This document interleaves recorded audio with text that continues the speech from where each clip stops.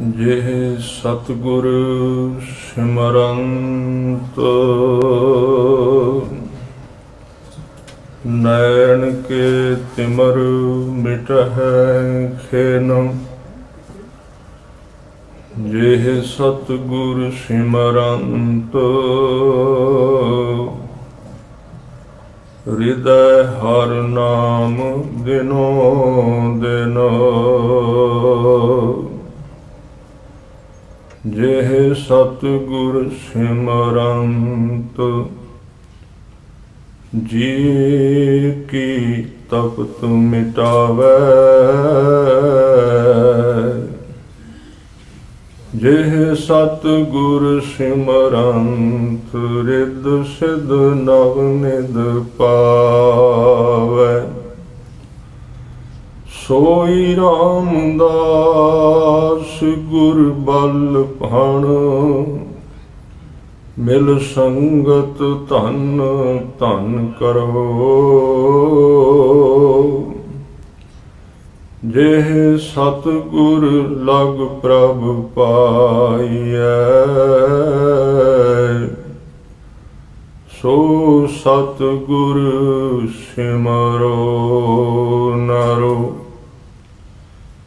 ਤੇਰੇ ਕਵਨ ਕਵਨ ਗੁਣ ਕਹਿ ਕਹਿ ਗਾਵਾਂ। ਤੂੰ ਸਾਹਿਬ ਗੁਣੀ ਨਿਧਾਨਾ ਤੁਮਰੀ ਮਹਿਮਾ ਬਰਨਣਾ ਸਾਕੋ। ਤੂੰ ਠਾਕੁਰ ਊਚ ਭਗਵਾਨਾ। ਸਤਿਗੁਰੂ ਗਰੀਬ ਨਵਾਜ ਪਾਤਸ਼ਾਹ, ਦੇਨ ਦੁਨੀਆ ਦੇ ਮਾਲਕ, ਲੋਕ ਪਰਲੋਕ ਦੇ ਰੱਖਿਅਕ, ਅਕਾਲ ਸਰੂਪ। ਸਤਿਗੁਰੂ ਸ੍ਰੀ ਗੁਰੂ ਗ੍ਰੰਥ ਸਾਹਿਬ ਮਹਾਰਾਜ ਜੀ ਦੀ ਚਰਨ ਸ਼ਰਨ ਵਿੱਚ ਸੁਭਾਏਮਾਨ ਸਤਕਾਰਯੋਗ, ਸਨਮਾਨਯੋਗ ਸਾਧ ਸੰਗਤ ਜੀਓ। ਹਜੂਰ ਨੇ ਤਰਸ ਕੀਤਾ, ਬਖਸ਼ਿਸ਼ ਕੀਤੀ ਅੰਮ੍ਰਿਤ ਵੇਲੇ। ਦਰਸ਼ਨ ਦੀਦਾਰ ਬਖਸ਼ੇ ਹਨ। ਆਪਣੇ ਚਰਨਾਂ ਵਿੱਚ ਬੈਠਣ ਲਈ ਪ੍ਰੇਰਿਤ ਕੀਤਾ ਹੈ। ਇਹ ਪਹਿਲਾ ਧੰਨਵਾਦ ਸਿੱਖ ਗੁਰੂ ਦਾ ਕਰਦਾ ਹੈ। ਅੱਜ ਦਾ ਸ੍ਰੀ ਮੁਖ ਵਾਕ, ਅੰਮ੍ਰਿਤ ਵੇਲੇ ਪ੍ਰਕਾਸ਼ ਹੋ ਕੇ, ਜੋ ਅੱਜ ਲਈ ਉਪਦੇਸ਼ ਦਿੱਤਾ ਸਤਿਗੁਰੂ ਗੁਰੂ ਗ੍ਰੰਥ ਸਾਹਿਬ ਸੱਚੇ ਪਾਤਸ਼ਾਹ ਜੀ ਨੇ, ਉਹ ਸ਼ਬਦ ਦੀ ਹੁਕਮ ਦੀ ਵਿਆਖਿਆ ਜਿੰਨੀ ਕੋ ਸਤਿਗੁਰੂ ਜੀ ਬਖਸ਼ਿਸ਼ ਕਰਨਗੇ ਉਸ ਅਨੁਸਾਰ,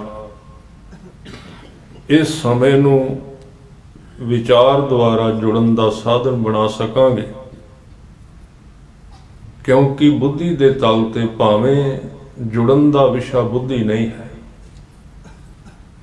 ਜਦੋਂ ਵੀ ਕਿਸੇ ਦਾ ਜੋੜ ਅਕਾਲ ਪੁਰਖ ਦੇ ਚਰਨਾਂ ਨਾਲ ਬਣਦਾ ਹੈ ਤੇ ਬੁੱਧੀ ਦਾ ਬਹੁਤ ਸਾਰਾ ਹਿੱਸਾ ਜਿਹੜਾ ਹੈ ਉਹ ਬੰਦ ਹੋ ਜਾਂਦਾ ਹੈ। ਵਿਚਾਰਾਂ ਉੱਥੇ ਖਤਮ ਹੁੰਦੀਆਂ, ਨਿਰਵਿਚਾਰ, ਉੱਥੇ ਕੋਈ ਵਿਚਾਰ ਨਹੀਂ ਹੈ। ਪਰ ਨਿਰਵਿਚਾਰ ਹਿਰਦੇ ਤੱਕ ਜਾਣ ਦਾ ਜਿਹੜਾ ਦਰਵਾਜ਼ਾ ਹੈ, ਉਹ ਬੁੱਧੀ ਹੀ ਹੈ। ਉਸ ਤੋਂ ਬਿਨਾ ਅੰਦਰ ਜਾਇਆ ਨਹੀਂ ਜਾ ਸਕਦਾ। ਇਸ ਕਰਕੇ ਗੁਰੂ ਸਾਹਿਬ ਨੇ ਦੋ ਚੀਜ਼ਾਂ ਬਖਸ਼ੀਆਂ, ਕੀਰਤਨ ਔਰ ਵਿਚਾਰ। ਵਡਿਆਈ ਔਰ ਵਿਚਾਰ। ਦੋਵੇਂ ਚੀਜ਼ਾਂ ਸਾਡੀ ਝੋਲੀ ਵਿੱਚ ਪਾਈਆਂ ਨੇ। ਔਰ ਕਹਿ ਦਿੱਤਾ, ਅੰਮ੍ਰਿਤ ਵੇਲਾ ਸੱਚ ਨਾਉ ਵਡਿਆਈ ਵਿਚਾਰ ਵਿਚਾਰ ਦੀ ਨਾਲ ਲੋੜ ਪੈ। ਕਿਉਂਕਿ ਅਸੀਂ ਸਾਰਾ ਦਿਨ ਜਿਉਂਦੇ ਹੀ ਵਿਚਾਰਾਂ ਵਿੱਚ। ਸਾਡੇ ਮਨ ਨੂੰ ਵਿਚਾਰਾਂ ਦਾ ਬਹੁਤਾ ਅਭਿਆਸ ਹੈ। ਅਸੀਂ ਰਹਿੰਦੇ ਵਿਚਾਰਾਂ ਵਿੱਚ ਹਾਂ ਕਦੇ ਵਿਚਾਰ ਬੰਦ ਹੁੰਦੇ ਨਹੀਂ। ਭਾਵੇਂ ਕਿ ਅਕਾਲ ਪੁਰਖ ਦਾ ਵਿਚਾਰਾਂ ਨਾਲ ਕੋਈ ਸੰਬੰਧ ਨਹੀਂ, ਉੱਥੇ ਕੋਈ ਖਿਆਲ ਨਹੀਂ ਹੈ। ਉੱਥੇ ਪਾਣੀ ਵਿੱਚ ਪਾਣੀ ਗੁਰੂ ਤੇਗ ਬਹਾਦਰ ਸਾਹਿਬ ਜੀ ਕਹਿੰਦੇ, ਲੀਨ ਹੋ ਗਿਆ। ਜਿਹਦੇ, ਜਿਸ ਮਨੁੱਖ ਤੇ ਗੁਰੂ ਨੇ ਕਿਰਪਾ ਕੀਤੀ ਉਸ ਨੇ ਇਸ ਜੁਗਤ ਨੂੰ ਪਛਾਣ ਲਿਆ ਹੈ, ਇਸ ਤਰੀਕੇ ਨੂੰ ਵੇਖ ਲਿਆ ਹੈ। ਉਹ ਇਸ ਤਰ੍ਹਾਂ ਉਹਦੇ ਵਿੱਚ ਲੀਨ ਹੋ ਜਾਂਦਾ ਹੈ। ਜਿਵੇਂ ਪਾਣੀ ਵਿੱਚ ਪਾਣੀ ਪਵੇ ਤੇ ਆਵਾਜ਼ ਨਹੀਂ ਆਉਂਦੀ, ਵਿੱਚ ਲੀਨ ਹੋ ਜਾਂਦਾ, ਵਿਚਾਰ ਉੱਥੇ ਕੋਈ ਨਹੀਂ ਉੱਠਦਾ। ਜਿਸ ਥਾਂ ਤੇ ਮਨ ਸ਼ਬਦ ਵਿੱਚ ਲੀਨਤਾ ਹਾਸਲ ਕਰ ਲੈਂਦਾ ਪਰ ਜਿਸ ਜਗਤ ਵਿੱਚ ਅਸੀਂ ਜਿਉਂਦੇ ਆ ਉਹ ਵਿਚਾਰਧਾਰਾ ਹੈ। ਇਸ ਕਰਕੇ ਗੁਰੂ ਸਾਹਿਬ ਨੇ ਐਸੀ ਵਿਚਾਰਧਾਰਾ ਬਖਸ਼ੀ ਜਿਹਦੇ ਵਿੱਚ ਹੁੰਦੀਆਂ ਵਿਚਾਰਾਂ ਨੇ, ਪਰ ਗੱਲ ਨਿਰਵਿਚਾਰ ਦੀ ਹੁੰਦੀ ਹੈ। ਹੁੰਦੇ ਖਿਆਲਾਂ ਦੀ ਗੱਲ ਹੈ, ਸੰਸਾਰ ਦੀਆਂ ਗੱਲਾਂ ਨੇ। ਇਸ ਲਈ ਗੁਰੂ ਸਾਹਿਬ ਨੇ ਇਸ ਨੂੰ ਦੋ ਲਫ਼ਜ਼ਾਂ ਦੇ ਵਿੱਚ ਕਿਹਾ, ਆਵਹੁ ਸੰਤ ਪਿਆਰੇ ਹੋ ਅਕਥ ਕੀ ਕਰੈ? ਕਹਾਣੀ ਕਹਾਣੀ ਤੇ ਗੱਲਾਂ ਨੇ ਸੰਸਾਰ ਦੀ। ਕਈ ਵਾਰੀ ਜਿਹੜੀ ਕੋਟੀ ਤੇ ਅੱਜ ਹੁਕਮਨਾਮਾ ਆਪ ਜੀ ਨੇ ਸੁਣਿਆ ਉੱਚੀ ਅਵਸਥਾ ਵਿੱਚ ਉਚਾਰਿਆ ਗਿਆ। ਕਈ ਵਾਰੀ ਅਸੀਂ ਥੋੜੀ ਜੀ ਕਮਾਈ ਕਰਕੇ ਜਾਂ ਥੋੜਾ ਜਿਹਾ ਪੜ੍ਹ ਕੇ ਥੋੜਾ ਜਿਹਾ ਗੁਰੂ ਵੱਲੋਂ ਕੋਈ ਕਿਣਕਾ ਝੋਲੀ ਵਿੱਚ ਪੈ ਜਾਏ ਤੇ ਅਸੀਂ ਥੱਲੇ ਵਾਲੀਆਂ ਕਲਾਸਾਂ ਨੂੰ ਰੱਦ ਕਰ ਦਿੰਨੇ ਆ ਵੀ ਇਹ ਨਹੀਂ ਚਾਹੀਦੀ।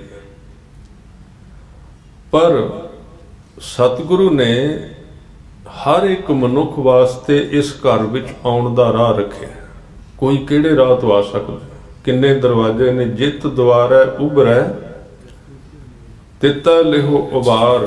ਕਿਸ, ਕਿਸੇ ਬੰਦੇ ਦੀ ਰੁਚੀ ਜ਼ਿਆਦਾ ਪ੍ਰੇਮ ਦੀ ਏ, ਕੀਰਤਨ ਦੀ ਏ, ਰਸ ਦੀ ਏ, ਉਹਦੇ ਵਾਸਤੇ ਸਤਿਗੁਰੂ ਨੇ ਕੀਰਤਨ ਦੇ ਦਿੱਤਾ।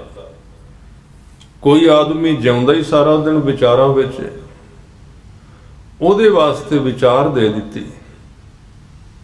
ਕਿਸੇ ਤੋਂ ਬੈਠਣਾ ਹੀ ਔਖਾ ਚੌਂਕੜਾ ਮਾਰ ਕੇ ਉਹਨੂੰ ਕਿਹਾ, ਸੇਵਾ ਕਰ, ਤੁਰ ਫਿਰ ਉਹ ਵੀ ਸਿਮਰਨ ਬਣ ਜਾਏਗਾ ਇੱਕ ਦਿਨ।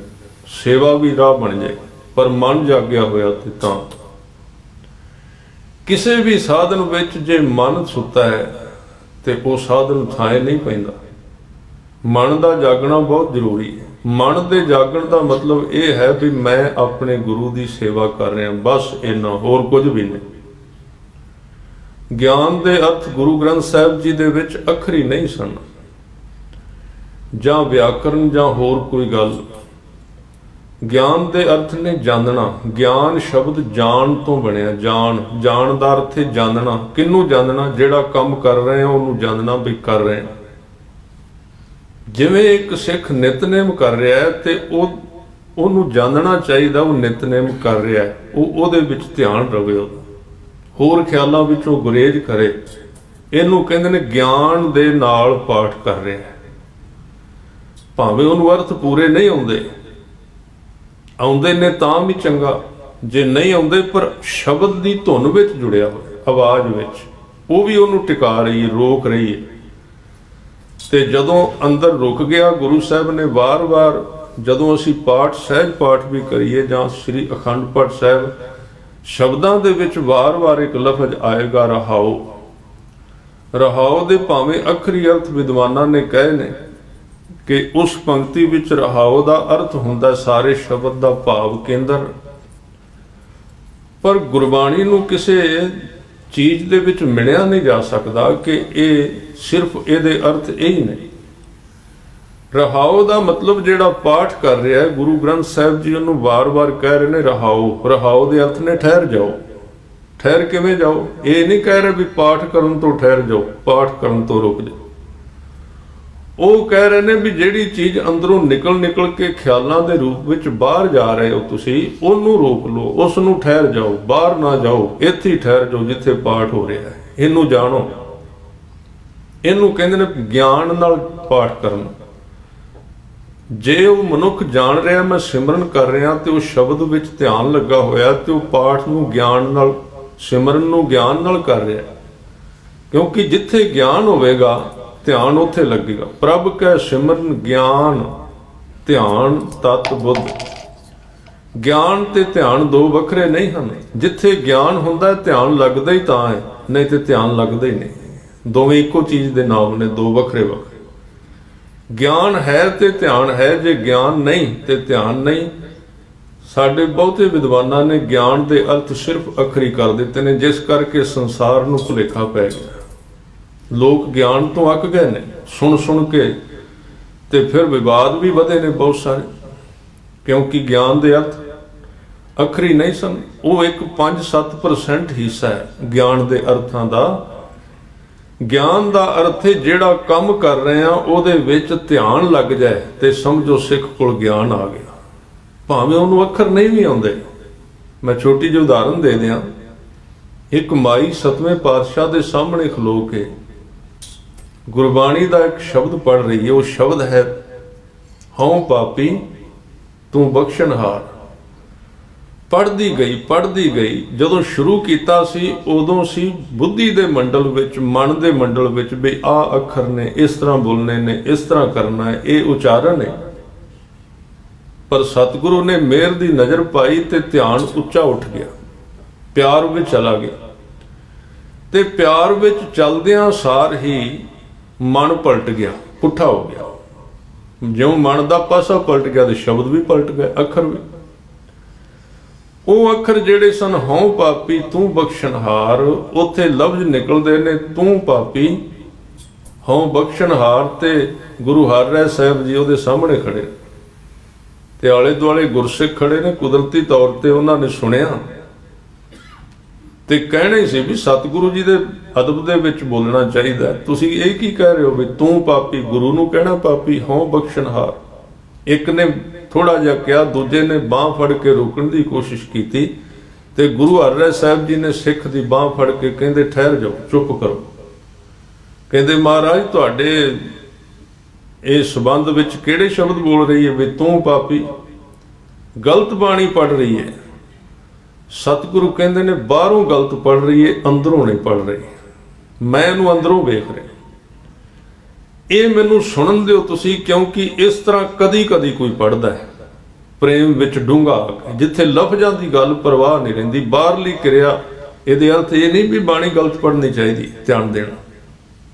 ਬਾਣੀ ਸ਼ੁੱਧੀ ਪੜਨੀ ਚਾਹੀਦੀ, ਪਰ ਉਥੇ ਇੱਕ ਇਸ਼ਾਰਾ ਕਰਨਾ ਚਾਹੁੰਦੇ ਨੇ ਸਤਿਗੁਰੂ ਕਿ ਜੜ ਦੇ ਵਿੱਚ ਡੁੰਗਾਈ ਦੇ ਵਿੱਚ, ਜਿੱਥੇ ਸਾਡੇ ਹਿਰਦੇ ਵਿੱਚ ਨਿਵਾਸ ਕਰਦੇ ਨੇ ਭਾਵ, ਜਦੋਂ ਉਥੇ ਇੱਕ ਸਾਰਤਾ ਆ ਜਾਏ ਬਾਹਰ ਦੀਆਂ ਕਿਰਿਆਵਾਂ ਆਪਣੇ ਆਪ ਸ਼ੁੱਧ ਹੋ ਜਾਂਦੀਆਂ। ਆਪਣੇ ਆਪ ਉਹਨਾਂ ਵਿੱਚ ਸ਼ੁੱਧਤਾ ਆ ਜਾਂਦੀ ਹੈ। ਤੇ ਜੇ ਅੰਦਰੋਂ ਸ਼ੁੱਧ ਨਹੀਂ ਹੋਇਆ, ਫਿਰ ਬਾਹਰਲੇ ਲਫ਼ਜ਼ ਕਦੀ ਹੈ ਜੇ ਸਾਨੂੰ ਜੋੜ ਸਕਣ। ਨਹੀਂ ਤੇ ਇੰਨੀ ਜਲਦੀ ਜੋੜ ਪੈਂਦਾ ਨਹੀਂ। ਮੈਂ ਬੇਨਤੀ ਸਾਂਝੀ ਕਰ ਰਿਹਾ ਸੀ ਕਿ ਇਸ ਮਾਰਗ ਦੇ ਉੱਤੇ ਜਿਹਦੇ ਵਿੱਚ ਗਿਆਨ ਦੀ ਗੱਲ ਕੀਤੀ ਜਾਂਦੀ ਹੈ, ਗਿਆਨ ਦੇ ਅਰਥ ਨੇ ਕਿਸੇ ਚੀਜ਼ ਨੂੰ ਜਾਣ ਲੈਣਾ। ਤੇ ਜਿੰਨਾ ਚਿਰ ਗਿਆਨ ਨਹੀਂ ਆਉਂਦਾ ਉਹਨਾਂ ਚਿਰ ਧਿਆਨ ਨਹੀਂ ਲੱਗ ਸਕਦਾ ਕਿਸੇ ਦਾ। ਜਿਵੇਂ ਕਿ ਗੁਰੂ ਨਾਨਕ ਦੇਵ ਜੀ ਭਰਤਰੀ ਜੋਗੀ ਨੂੰ ਇਹ ਸਮਝਾ ਰਹੇ ਨੇ ਕਿ ਜਿਹੜਾ ਰਸ ਮੈਂ ਪੀ ਰਿਹਾ, ਉਹਦੇ ਵਿੱਚ ਗਿਆਨ ਦਾ ਗੁੜ ਪੈਂਦਾ ਹੈ। ਜਿਵੇਂ ਸ਼ਰਾਬ ਕੱਢਣ ਲਈ ਸੰਸਾਰਿਕ ਗੁੜ ਪਾਇਆ ਜਾਂਦਾ ਹੈ, ਉੱਥੇ ਗਿਆਨ ਦਾ ਗੁੜ ਪਾਇਆ ਜਾਂਦਾ ਹੈ। ਗੁੜ ਕਰ ਗਿਆਨ, ਧਿਆਨ ਕਰ ਧਾਵੈ। ਕਰ ਕਰਨੀ ਕਸ ਪਾਈਐ ਪਾਠੀ ਭਵਨ, ਪ੍ਰੇਮ ਕਾ ਪੋਚਾ। ਇਤ ਰਸ ਅਮਿਓ ਚਵਾਈਐ ਬਾਬਾ ਮਨਮਤ ਵਾਰੋ ਨਾਮ ਰਸ ਪੀਵੈ। ਉਸ ਨਾਮ ਰਸ ਦੀ ਪ੍ਰਾਪਤੀ ਕਿਵੇਂ ਹੁੰਦੀ ਏ? ਸਭ ਤੋਂ ਪਹਿਲਾਂ ਗਿਆਨ ਦੀ ਜ਼ਰੂਰਤ ਹੈ। ਗਿਆਨ ਦੇ ਅਰਥ ਨੇ ਧਿਆਨ ਦਾ ਇਕੱਠੇ ਹੋ ਜਾਣਾ। ਇਕਾਗਰ ਹੋ ਜਾਣਾ, ਧਿਆਨ ਕਰ ਧਾਵੈ। ਧਾਵੈ ਇੱਕ ਤਰ੍ਹਾਂ ਦੇ ਫੁੱਲ ਹੁੰਦੇ ਨੇ, ਜਿਹੜੇ ਉਹ ਸ਼ਰਾਬ ਵਿੱਚ ਪਾਉਂਦੇ, ਉਹਨੂੰ ਤੇਜ਼ ਕਰਨ ਲਈ।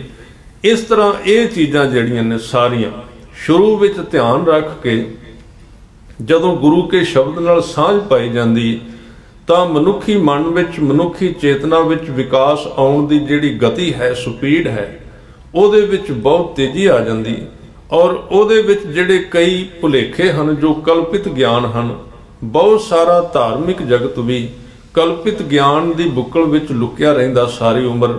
ਕੋਈ ਉਹਦੀ ਨਾ ਬੁੱਕਲ ਲਾਉਂਦਾ ਹੈ ਨਾ ਉਹ ਲਾਉਣਾ ਚਾਹੁੰਦਾ। ਹੈ ਆਪੋ ਆਪਣੀ ਮਰਜ਼ੀ ਦੇ ਅਨੁਸਾਰ ਕਲਪਿਤ ਗਿਆਨ ਇਕੱਠਾ ਕਰ ਲਿਆ ਜਾਂਦਾ ਹੈ, ਜਿਹਦਾ ਸੱਚ ਨਾਲ ਔਰ ਪਰਮਾਰਥ ਨਾਲ ਔਰ ਗੁਰੂ ਕੇ ਸੁਭਾਅ ਦੇ ਨਾਲ ਕੋਈ ਮੇਲ ਨਹੀਂ ਬਣਦਾ, ਜਿਸ ਕਰਕੇ ਜੀਵਨ ਉਸੇ ਥਾਂ ਤੇ ਰੁਕ ਗਿਆ ਔਰ ਅੱਗੇ ਵਿਕਾਸ ਕਰਨ ਤੋਂ ਰੁਕ ਜਾਂਦਾ ਹੈ।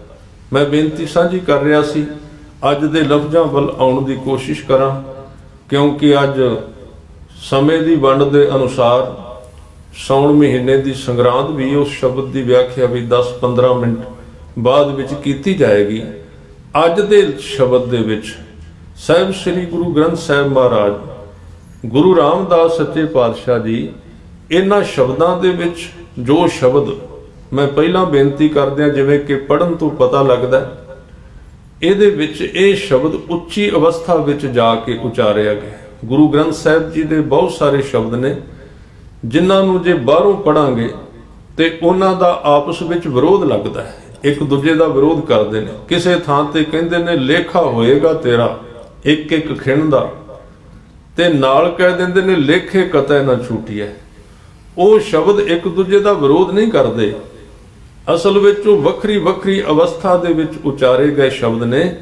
ਇਹ ਜਿਹੜਾ ਅੱਜ ਦਾ ਸ੍ਰੀ ਮੁਖ ਵਾਕ ਹੈ, ਇਹ ਉਸ ਉੱਚੀ ਅਵਸਥਾ ਦੇ ਵਿੱਚ ਜਿਸ ਨੂੰ ਧਰਮ ਦੀਆਂ ਸੱਤ ਦ੍ਰਿਸ਼ਟੀਆਂ ਦੇ ਵਿੱਚੋਂ ਸਤਵੀਂ ਦ੍ਰਿਸ਼ਟੀ ਕਿਹਾ ਗਿਆ, ਜਿਹਨੂੰ ਗੁਰੂ ਅਮਰਦਾਸ ਜੀ ਕਹਿੰਦੇ ਨੇ, ਸਤਿਗੁਰ ਮਿਲਿਆ, ਦਿਵ ਦ੍ਰਿਸ਼ਟ ਹੋਈ, ਜਾਂ ਵਿਦਵਾਨਾਂ ਨੇ ਇਹਨਾਂ ਲਫ਼ਜ਼ਾਂ ਦੀ ਵਰਤੋਂ ਕੀਤੀ ਏ ਬ੍ਰਹਮ ਕੋਟੀ।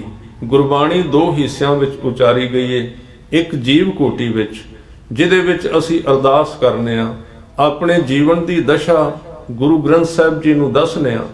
ਉੱਥੇ ਫਿਰ ਔਗਣਾਂ ਦੀ ਵਿਆਖਿਆ ਵੀ ਹੁੰਦੀ ਏ, ਉੱਥੇ ਭਾਵ ਪੁੰਨ ਦੀ ਗੱਲ ਵੀ ਚੱਲਦੀ ਏ ਪਰ ਅੱਜ ਜਿੱਥੇ ਸ੍ਰੀ ਗੁਰੂ ਰਾਮਦਾਸ ਸੱਚੇ ਪਾਤਸ਼ਾਹ ਜੀ ਬੋਲ ਰਹੇ ਨੇ, ਉੱਥੇ ਇੱਕ ਦਿਵ ਦ੍ਰਿਸ਼ਟੀ ਹੈ ਭਾਈ ਕਨਈਏ ਵਾਲੀ, ਜਿਹਦੇ ਵਿੱਚ ਮੈਂ ਜੇ ਖੁੱਲਾ ਕਹਿ ਦਿਆਂ, ਪਾਪੀ ਤੋਂ ਲੈ ਕੇ ਪੁੰਨੀ ਤੱਕ ਸਾਰਿਆਂ ਦੇ ਵਿੱਚ ਇੱਕੋ ਹੀ ਨਜ਼ਰ ਆਉਂਦਾ ਹੈ। ਕੋਈ ਵੱਖਰਾ ਨਹੀਂ, ਪਰ ਇਹ ਉਸ ਦਸ਼ਾ ਦੇ ਵਿੱਚ ਜਦੋਂ ਨੀਚਲੇ ਤਲ ਤੇ ਵੇਖਾਂਗੇ ਤੇ ਉੱਥੇ ਪਾਪੀ ਨੂੰ ਗੁਰੂ ਸਾਹਿਬ ਕਹਿਣਗੇ ਵੀ ਇਸ ਪਾਪ ਤੋਂ ਗੁਰੇਜ ਕਰ, ਇਹਦੇ ਤੋਂ ਤੂੰ ਉੱਚਾ ਉੱਠ ਇਹ ਪਾਪ ਉਹ ਜੀਵ ਕੋਟੀ ਵਿੱਚ ਉਪਦੇਸ਼ ਦਿੱਤਾ ਤੇ ਦੂਜੇ ਪਾਸੇ ਚੰਗਿਆਈ ਨੂੰ ਚੰਗਾ ਕਹਿਣਗੇ। ਪਰ ਜਦੋਂ ਇਸ ਦਸ਼ਾ ਵਿੱਚ ਆਉਂਦੇ ਨੇ ਜਿੱਥੇ ਅੱਜ ਸ੍ਰੀ ਮੁਖ ਵਾਕ ਉਚਾਰਿਆ ਉਹ ਬ੍ਰਹਮ ਅਵਸਥਾ ਹੈ। ਉਹਦੇ ਵਿੱਚ, ਮਾੜੇ ਵਿੱਚ ਵੀ ਉਸੇ ਤਰ੍ਹਾਂ ਨਜ਼ਰ ਆਉਂਦਾ ਅਕਾਲ ਪੁਰਖ ਤੇ ਚੰਗੇ ਮਨੁੱਖ ਦੇ ਵਿੱਚ ਵੀ। ਉੱਥੇ ਇੱਕ ਕਲੇਸ਼ੀ ਮਨੁੱਖ ਦੇ ਵਿੱਚ ਵੀ ਤੇ ਸ਼ਾਂਤ ਮਨੁੱਖ ਦੇ ਵਿੱਚ ਵੀ ਇੱਕੋ ਹੀ ਨਜ਼ਰ ਆਉਂਦਾ ਹੈ। ਜੇ ਅੱਜ ਦੇ ਸ਼ਬਦ ਨੂੰ ਪੂਰੀ ਤਰ੍ਹਾਂ ਸਮਝਣਾ ਹੋਵੇ ਤੇ ਜਾਪ ਸਾਹਿਬ ਪੜ੍ਹਨਾ ਪਏਗਾ। ਜਾਪ ਸਾਹਿਬ ਸਾਰਾ ਜਿੰਨਾ ਕਲਗੀਧਰ ਪਾਤਸ਼ਾਹ ਨੇ ਉਚਾਰਿਆ, ਸਾਰੇ ਜਾਪ ਸਾਹਿਬ ਦੀ ਬਾਣੀ ਬ੍ਰਹਮ ਦ੍ਰਿਸ਼ਟੀ ਵਿੱਚੋਂ ਉਚਾਰੀ ਗਈ ਏ। ਜਿਸ ਥਾਂ ਤੇ ਹਨੇਰੇ ਵਿੱਚ ਵੀ ਉਹ ਵਸਦਾ ਦਿਸਦਾ ਹੈ ਤੇ ਚਾਨਣ ਵਿੱਚ ਵੀ ਉਹ ਨਜ਼ਰ ਆਉਂਦਾ ਹੈ। ਜਦੋਂ ਅਸੀਂ ਬਾਣੀ ਪੜਾਂਗੇ ਨਮੋ ਅੰਧਕਾਰੇ, ਨਮੋ ਤੇਜ ਤੇਜੇ, ਹਨੇਰੇ ਵਿੱਚ ਵੀ ਉਹ ਤੇ ਚਾਨਣ ਵਿੱਚ ਵੀ ਉਹ। ਹੁਣ ਇੱਥੇ ਹਨੇਰੇ ਦੇ ਅਰਥ ਨੇ ਅਗਿਆਨ, ਅਗਿਆਨੀ ਮਨੁੱਖ। ਕਲਗੀਧਰ ਪਾਤਸ਼ਾਹ ਕਹਿੰਦੇ, ਜਦੋਂ ਮੈਂ ਕਿਸੇ ਅਗਿਆਨੀ ਮਨੁੱਖ ਨੂੰ ਵੇਖਣਾ, ਤੇ ਅਗਿਆਨੀ ਵਿੱਚ ਵੀ ਤੂੰ ਵਸਣਾ ਹੈ। ਜਦੋਂ ਮੈਂ ਕਿਸੇ ਤੇਜ ਤੇਜੇ ਗਿਆਨਵਾਨ ਨੂੰ, ਜਿਹਨੂੰ ਚਾਨਣ ਹੋ ਗਿਆ, ਉਹਨੂੰ ਵੇਖਣਾ, ਉਹਦੇ ਵਿੱਚ ਵੀ ਤੂੰ ਨਜ਼ਰ ਆ ਰਿਹਾ ਉਸ ਥਾਂ ਤੇ ਗੁਰੂ ਸਾਹਿਬ ਕਹਿੰਦੇ ਕਿ ਉਸ ਥਾਂ ਤੇ ਜਾ ਕੇ ਨਮੋ ਕਲੈ ਕਰਤਾ। ਹੁਣ ਇਹ ਬੇਨਤੀ ਕਰਾਂ ਵੀ ਜਿਹੜੇ ਸਾਡੇ ਅੱਜ ਕੱਲ ਇਹ ਵੀਰ ਭਰਾ ਨੇ ਜਿਹੜੇ ਵਿਦਵਾਨ, ਜਿਹੜੇ ਵਿਵਾਦ ਖੜੇ ਕੀਤੇ, ਜਿਨ੍ਹਾਂ ਨੇ ਦਸਮ ਪਾਤਸ਼ਾਹ ਦੀ ਬਾਣੀ ਬਾਰੇ, ਉਹ ਕਿਉਂ ਕਰ ਦਿੱਤੇ? ਉਹ ਤਾਂ ਕੀਤੇ ਵੀ ਜਿਹੜੀ ਗੱਲ ਕਹਿਣੀ ਸੀ, ਉਹਨੂੰ ਪਹਿਲਾਂ ਚੰਗੀ ਤਰ੍ਹਾਂ ਜੇ ਸ਼ੰਕਾ ਪੈ ਸਕਦਾ ਕੋਈ ਵੱਡੀ ਗੱਲ ਨਹੀਂ। ਸਾਨੂੰ ਕਿਸੇ ਵੀ ਚੀਜ਼ ਤੇ ਸ਼ੰਕਾ ਹੋ ਸਕਦਾ ਹੈ, ਪਰ ਸਾਡਾ ਫਰਜ਼ ਬਣਦਾ ਵੀ ਏਡੀ ਵੱਡੀ ਸਟੇਟਮੈਂਟ ਦੇਣ ਤੋਂ ਪਹਿਲਾਂ ਵੀ ਆਹ ਬਾਣੀ ਗੁਰੂ ਸਾਹਿਬ ਦੀ ਨਹੀਂ, ਹਜ਼ਾਰ ਵਾਰੀ ਸਾਨੂੰ ਪਤਾ ਕਰ ਲੈਣਾ ਚਾਹੀਦਾ ਤੇ ਵੱਡਾ ਤਰੀਕਾ ਇਹ ਹੈ ਗੁਰੂ ਗ੍ਰੰਥ ਸਾਹਿਬ ਜੀ ਦੇ ਵਿੱਚ ਵੀ ਬਹੁਤ ਸਾਰੇ ਸ਼ਬਦ ਨੇ, ਜਿਨ੍ਹਾਂ ਦੀ ਕਿਸੇ ਨੂੰ ਪੂਰੀ ਤਰ੍ਹਾਂ ਸਮਝ ਨਹੀਂ ਆਉਂਦੀ। ਤੇ ਗੁਰਮਤ ਦਾ ਤਰੀਕਾ ਹੈ, ਸਤਿਗੁਰੂ ਅੱਗੇ ਅਰਦਾਸ ਕਰਨੀ ਕਿ ਇਹ ਸ਼ਬਦ ਜਿਹੜਾ ਤੁਸੀਂ ਉਚਾਰਿਆ ਹੈ, ਇਹ ਮੇਰੀ ਪਕੜ ਵਿੱਚ ਨਹੀਂ ਆ ਰਿਹਾ। ਆਪ ਜੀ ਕਿਰਪਾ ਕਰੋ, ਜਦੋਂ ਰਹਿਮਤ ਕਰੋਗੇ ਉਦੋਂ ਇਹਦੇ ਬਾਰੇ ਮੈਂ ਬੋਲ ਦਿਆਂਗਾ, ਨਹੀਂ ਤੇ ਇਹਦੇ ਬਾਰੇ ਕਹਿ ਸਕਨੇ ਵੀ ਮੈਨੂੰ ਪਤਾ ਨਹੀਂ, ਪਰ ਹੁਣ ਆਦਮੀ ਕਵੇ ਕਿ? ਹੰਕਾਰ ਥੋੜੀ ਇਹ ਮੰਨਦਾ ਵੀ ਮੈਨੂੰ ਪਤਾ ਨਹੀਂ, ਉਹ ਕਿਵੇਂ ਕਹੇਗਾ? ਕੋਈ ਵਿਅਕਤੀ ਇਹ ਮੰਨਣ ਨੂੰ ਤਿਆਰ ਨਹੀਂ ਕਿ ਮੈਨੂੰ ਪਤਾ ਨਹੀਂ ਹੈ, ਬਸ ਇਹ ਲਫ਼ਜ਼ ਹੀ ਉਸ ਘਰ ਦਾ ਦਰਵਾਜ਼ਾ ਹੈ ਕਿ ਮੈਨੂੰ ਪਤਾ ਨਹੀਂ। ਕਿਉਂਕਿ ਇਹ ਸਾਰੀ ਬਾਣੀ ਉੱਥੋਂ ਆਈ ਏ, ਜਿਨ੍ਹਾਂ ਲੋਕਾਂ ਨੇ ਇਸ ਚੀਜ਼ ਨੂੰ ਮੰਨ ਲਿਆ ਸੀ ਵੀ ਮੈਨੂੰ ਪਤਾ ਨਹੀਂ। ਜਿਨ੍ਹਾਂ ਨੂੰ ਪਤਾ ਸੀ, ਉਹ ਤੇ ਚਾਰ ਆਏ ਸਨ ਲਾਹੌਰ ਤੋਂ, ਛੱਜੂ, ਪੀਲੂ, ਕਾਨਾ ਤੇ ਹੁਸੈਨ ਤੇ ਵਿਦਿਆ ਤੇ ਉਹਨਾਂ ਕੋਲ ਵੀ ਬੜੀ ਸੀ। ਇਹ ਚਾਰੇ ਭਗਤ ਜਦੋਂ ਗੁਰੂ ਗ੍ਰੰਥ ਸਾਹਿਬ ਪਾਤਸ਼ਾਹ ਜੀ ਦੀ ਸੰਪਾਦਨਾ ਹੋਈ ਰਾਮਸਰ ਸਾਹਿਬ ਦੇ ਥਾਂ ਤੇ ਤੇ ਜਿਹੜੇ ਚਾਰੇ ਭਗਤ ਆਏ ਸਨ ਤੇ ਕਹਿੰਦੇ ਸਨ, ਸਾਡੀ ਬਾਣੀ ਗੁਰੂ ਗ੍ਰੰਥ ਸਾਹਿਬ ਵਿੱਚ ਚੜਾਓ, ਇਹ ਵੀ ਤਾਂ ਬਾਣੀ ਉਸੇ ਤਰ੍ਹਾਂ ਦੀ ਹੈ। ਤਾਂ ਸੱਚੇ ਪਾਤਸ਼ਾਹ ਨੇ ਕਿਹਾ, ਨਾ ਕਰ ਦਿੱਤੀ। ਕਹਿੰਦੇ, ਨਹੀਂ ਚੜਾ ਸਕਦੇ। ਕਿਉਂ ਨਹੀਂ ਚੜਾ ਸਕਦੇ? ਕਹਿੰਦੇ, ਇੱਥੇ ਬਾਣੀ ਉਹਨਾਂ ਦੀ ਚੜਾਈ ਗਈ ਜਿਨ੍ਹਾਂ ਨੇ ਮੰਨ ਲਿਆ ਵੀ ਸਾਨੂੰ ਨਹੀਂ ਪਤਾ। ਤੇ ਤੁਸੀਂ ਉੱਥੋਂ ਬੋਲ ਰਹੇ ਹੋ ਜਿੱਥੇ ਤੁਸੀਂ ਇਹ ਕਹਿਣਾ ਵੀ ਸਾਨੂੰ ਪਤਾ ਹੈ। ਬਸ, ਇੱਥੇ ਹੀ ਫ਼ਰਕ। ਇਸ ਘਰ ਦੇ ਵਿੱਚ ਜਿੱਦਣ ਗੁਰੂ ਗ੍ਰੰਥ ਸਾਹਿਬ ਜੀ ਦੇ ਪਹਿਲੇ ਮੁੱਖ ਗ੍ਰੰਥੀ ਸਥਾਪਨਾ ਸੀ, ਉਸ ਦਿਨ ਵੀ ਜਦੋਂ ਖੋਜ ਕੀਤੀ ਗਈ ਤੇ ਬਾਬਾ ਬੁੱਢਾ ਸਾਹਿਬ ਜੀ ਦੇ ਉੱਤੇ ਜਾ ਕੇ ਗੱਲ ਖੜੀ। ਹੋ ਵੀ ਬਾਬਾ ਬੁੱਢਾ ਸਾਹਿਬ ਜੀ ਨੂੰ ਇਹਨਾਂ ਦੇ ਗ੍ਰੰਥੀ ਥਾਪ ਦਿਓ। ਤਾਂ ਜਦੋਂ ਉਸ ਥਾਂ ਤੇ ਫੈਸਲਾ ਲਿਆ ਗਿਆ ਤੇ ਕੁਦਰਤੀ ਤੌਰ ਤੇ ਧਿਆਨ ਦੇਣਾ, ਲੋਕਾਂ ਨੇ ਕਿਹਾ ਕਿਸੇ ਨੇ ਕੁਝ ਕਿਹਾ, ਕਿਸੇ ਨੇ ਕੁਝ ਕਿਹਾ, ਬਾਬਾ ਬੁੱਢਾ ਸਾਹਿਬ ਨੇ ਖੁਦ ਕਿਹਾ। ਉਹ ਕਹਿੰਦੇ, ਮਹਾਰਾਜ, ਤੁਸੀਂ ਜੇ ਏਡੇ ਵੱਡੇ ਸ੍ਰੀ ਗੁਰੂ ਗ੍ਰੰਥ ਸਾਹਿਬ ਪਾਤਸ਼ਾਹ ਜੀ ਦੀ ਬਾਣੀ ਭਾਈ ਗੁਰਦਾਸ ਜੀ ਵਰਗੇ ਵਿਦਵਾਨਾਂ ਨੇ ਇਹਨੂੰ ਲਿਖਿਆ ਹੈ, ਤੁਸੀਂ ਉਚਾਰਨ ਕੀਤਾ ਹੈ, ਇੰਨੇ ਭਗਤਾਂ ਨੇ ਉਚਾਰਿਆ ਹੈ, ਕਿੰਨੀ ਪ੍ਰਕਾਰ ਦੀਆਂ ਭਾਸ਼ਾਵਾਂ ਨੇ ਇਸ ਬਾਣੀ ਦੇ ਵਿੱਚ, ਤੇ ਏਡੇ ਵੱਡੇ ਖਜ਼ਾਨੇ ਦੇ ਜੇ ਤੁਸੀਂ ਕਿਸੇ ਨੂੰ ਗ੍ਰੰਥੀ, ਮੁੱਖ ਗ੍ਰੰਥੀ ਥਾਪਣਾ ਤੇ ਮੈਂ ਤੇ ਸਾਰਾ ਦਿਨ ਤੁਹਾਡੀਆਂ ਮੱਝਾਂ ਗਾਵਾਂ ਨੂੰ ਪੱਠੇ ਪਾਉਣ ਵਾਲਾ ਸਿੱਖ ਹਾਂ। ਮੈਂ ਕਿਹੜਾ ਪੜਿਆ ਕਿਤੇ? ਮੈਨੂੰ ਤੇ ਪਤਾ ਹੀ ਨਹੀਂ। ਤੇ ਸੱਚੇ ਪਾਤਸ਼ਾਹ ਕਹਿੰਦੇ ਨੇ, ਬਾਬਾ ਬੁੱਢਾ ਜੀ, ਇਹ ਬਾਣੀ ਉਹਨਾਂ ਦੀ ਹੈ ਜਿਨ੍ਹਾਂ ਨੇ ਪਹਿਲਾਂ ਮੰਨਿਆ ਸੀ, ਸਾਨੂੰ ਪਤਾ ਨਹੀਂ ਤੇ ਰੱਬ ਨੇ ਉਹਨਾਂ ਨੂੰ ਸਾਰਾ ਪਤਾ ਲਵਾ ਦਿੱਤਾ। ਉਹਨਾਂ ਪਹਿਲਾਂ ਮੰਨਿਆ ਸੀ, ਸਾਨੂੰ ਨਹੀਂ ਪਤਾ।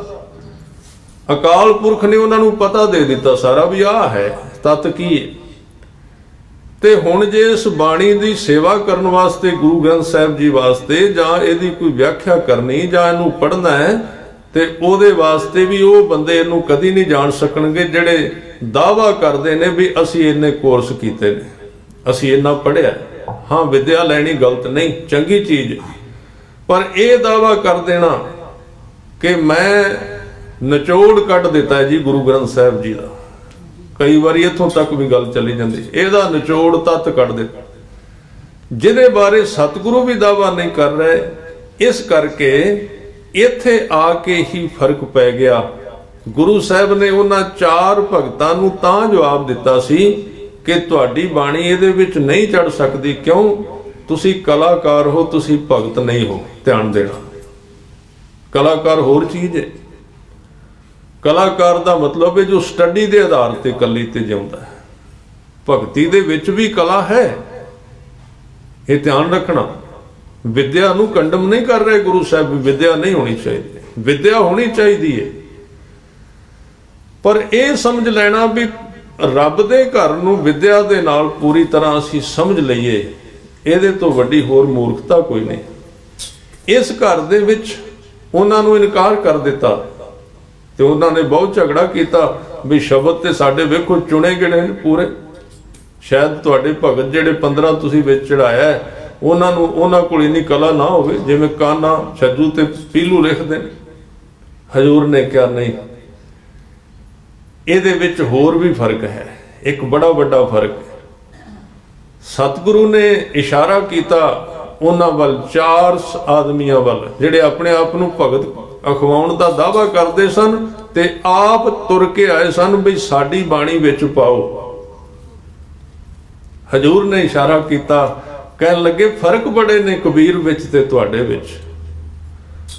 ਫ਼ਰਕ ਬੜੇ ਨੇ ਨਾਮ ਦੇ ਵਿੱਚ, ਫਰੀਦ ਵਿੱਚ ਤੇ ਤੁਹਾਡੇ ਵਿੱਚ।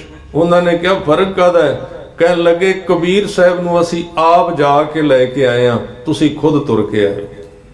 ਅਸੀਂ ਆਪ ਲਿਆਂਦਾ ਜਾ ਕੇ ਕਬੀਰ ਨੂੰ ਫਰੀਦ ਸਾਹਿਬ ਨੂੰ ਅਸੀਂ ਲਿਆਂਦਾ ਹੈ। ਫਰੀਦ ਸਾਹਿਬ ਨੇ ਨਹੀਂ ਕਿਹਾ ਸਾਡੀ ਬਾਣੀ ਚੜਾਓ ਵਿੱਚ। ਕਬੀਰ ਸਾਹਿਬ ਨੇ ਨਹੀਂ ਕਿਹਾ ਸਾਡੀ ਬਾਣੀ ਚੜਾਓ ਵਿੱਚ। ਕਿਸੇ ਭਗਤ ਨੇ ਇਹਦੀ ਐਪਲੀਕੇਸ਼ਨ ਨਹੀਂ ਦਿੱਤੀ। ਤੇ ਤੁਸੀਂ ਤੇ ਆਪ ਐਪਲੀਕੇਸ਼ਨ ਚੁੱਕਦੇ ਫਿਰਦੇ ਹੋ ਵੀ ਸਾਨੂੰ ਚੜਾਓ। ਨਾਲੇ ਦਾਵਾ ਕਰਦੇ ਹੋ ਵੀ ਸਾਡੀ ਲਾਹੌਰ ਸਰਕਾਰ ਦੇ ਵਿੱਚ ਬੜੀ ਗੱਲ ਹੈ ਚੰਦੂ ਦਾ ਭਰਾ ਸੀ ਉਹਨਾਂ ਵਿੱਚੋਂ ਇੱਕ। ਸਾਡੇ ਕੋਲ ਪੋਲੀਟੀਕਲ ਰਾਜਨੀਤਿਕ ਪਾਵਰ ਵੀ ਹੈ। ਸਾਨੂੰ ਲਾਓ ਵਿੱਚ। ਸ਼ਾਇਦ ਗੁਰੂ ਸਾਹਿਬ ਨੇ ਇਸ਼ਾਰਾ ਕਰ ਦਿੱਤਾ ਸੀ, ਇਹ ਜਿਹੜੇ ਭਗਤ ਨੇ ਇਹਨਾਂ ਨੂੰ ਅਸੀਂ ਚੁਣਿਆ ਹੈ। ਇਹ ਕਿਸੇ ਸੰਸਾਰਿਕ ਪਾਵਰ ਦਾ ਸਹਾਰਾ ਲੈ ਕੇ ਗੁਰੂ ਗ੍ਰੰਥ ਸਾਹਿਬ ਤੱਕ ਨਹੀਂ ਆਏ। ਇਹ ਕਾਰਨ ਹੈ ਕਿ ਜਦੋਂ ਕੋਈ ਮਨੁੱਖ ਰਾਜਨੀਤਿਕ ਪਾਵਰ ਲੈ ਕੇ ਗੁਰੂ ਗ੍ਰੰਥ ਸਾਹਿਬ ਦੀ ਗੱਲ ਕਰੇਗਾ, ਤੇ ਉਹ ਗੁਰੂ ਗ੍ਰੰਥ ਸਾਹਿਬ ਦੀ ਗੱਲ ਨਹੀਂ ਰਹੇਗੀ। ਰਹੇਗੀ ਨਹੀਂ ਬਿਲਕੁਲ। ਕਿਉਂ? ਇਹ ਬਾਣੀ ਉਚਾਰੀ ਉੱਥੋਂ ਗਈ ਹੈ। ਜੋ ਕਿਸੇ ਬਿਨਾ ਪ੍ਰੈਸ਼ਰ ਤੋਂ ਹੈ। ਇਹ ਜਿਹੜਾ ਸਿਸਟਮ ਸੀ, ਜਿਹੜਾ ਅਸੀਂ ਅੱਜ ਗੁਰੂ ਘਰਾਂ ਦੇ ਉੱਤੇ ਥੋਪ ਦਿੱਤਾ ਹੈ, VOTING ਸਿਸਟਮ ਹੈ ਇਲੈਕਸ਼ਨ ਸਿਸਟਮ ਹੈ ਤੇ ਸਿਫਾਰਿਸ਼ ਦਾ ਸਿਸਟਮ ਹੈ, ਸੱਚ ਜਾਣੋ, ਸਾਡੇ ਖੁਆਰ ਹੋਣ ਦੇ ਕਾਰਨ ਹੀ ਇਹ ਨੇ, ਅਸੀਂ ਸਤਿਗੁਰੂ ਦੇ ਸਿਧਾਂਤ ਤੋੜ ਕੇ ਰੱਖ ਦਿੱਤੇ। ਕਿਉਂਕਿ ਉੱਥੇ ਤਾਂ ਹੈ ਹੀ ਨਹੀਂ ਸੀ। ਉੱਥੇ ਤਾਂ ਜਿਸ ਨੂੰ ਗੁਰੂ ਨੇ ਸਮਝਿਆ ਸਹਿਜ ਸੁਭਾਇਕ ਗੁਰੂ ਨੇ ਆਪਣੇ ਕੰਮ ਵਿੱਚ ਲਾ ਦਿੱਤਾ। ਪਰ ਹੁਣ ਗੱਲ ਧਰਮ ਦੀ ਕਰਨੀ ਹੁੰਦੀ ਏ ਤੇ ਪਿੱਛੋਂ ਜਿਹੜੀ ਸਪੋਰਟ ਉਹ ਰਾਜਨੀਤੀ ਦੀ ਹੁੰਦੀ। ਗੱਲ ਧਰਮ ਦੀ ਹੋਵੇਗੀ ਕਿੱਥੋਂ? ਧਰਮ ਤੇ ਸ਼ੁੱਧ ਹੈ ਹਾਂ, ਰਾਜਨੀਤਿਕ ਰਾਜਨੀਤੀ ਉਹਦੇ ਪੈਰਾਂ ਵਿੱਚ ਹੁੰਦੀ ਹੈ ਧਰਮ ਆਪਣੇ ਆਪ ਵਿੱਚ ਸਮਰੱਥ ਹੈ ਇਸ ਕਰਕੇ ਇਹ ਬਾਣੀ ਜਿਹੜੀ ਉਚਾਰੀ ਗਈ ਹੈ, ਇਹਦੇ ਵਿੱਚ ਉੱਚੀ ਅਵਸਥਾ, ਜਿਹਦੇ ਵਿੱਚ ਗੁਰੂ ਰਾਮਦਾਸ ਸੱਚੇ ਪਾਤਸ਼ਾਹ ਜੀ ਕਿਰਪਾ ਕਰ ਰਹੇ ਨੇ ਕਿ ਅਕਾਲ ਪੁਰਖ ਵੈਗਰੂ ਦਾ ਜਿਹੜਾ ਨਿਵਾਸ ਹੈ, ਉਹ ਕਿੱਥੇ ਹੈ? ਉਹ ਕਿੱਥੇ ਰਹਿੰਦਾ ਹੈ? ਕਿਹੜੇ ਢੰਗ ਨਾਲ ਵਿਚਰਦਾ ਹੈ? ਕਿਹੜਾ ਉਸ ਦਾ ਤਰੀਕਾ ਹੈ? ਧੰਨ ਗੁਰੂ ਰਾਮਦਾਸ ਸੱਚੇ ਪਾਤਸ਼ਾਹ ਜੀ ਸੋਲਠ ਰਾਗ ਦੇ ਵਿੱਚ ਇਹ ਬਖਸ਼ਾਂ ਕਰਦੇ ਹਨ।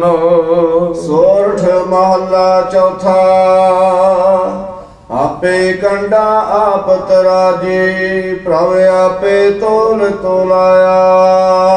ਇਸ ਸ਼ਬਦ ਵਿੱਚ ਵਾਰ-ਵਾਰ ਆਪੇ ਸ਼ਬਦ ਆਏਗਾ ਆਪੇ। ਆਪੇ ਹੀ ਹੈ ਉਹ ਵੱਡੇ ਤੋਂ ਲੈ ਕੇ ਛੋਟੇ ਤੱਕ ਗਰੀਬ ਤੋਂ ਲੈ ਕੇ ਅਮੀਰ ਤੱਕ ਪਾਪੀ ਤੋਂ ਲੈ ਕੇ ਪੁੰਨੀ ਤੱਕ। ਕੋਈ ਉਹਦੇ ਤੋਂ ਵੱਖਰਾ ਹੈ ਹੀ ਨਹੀਂ।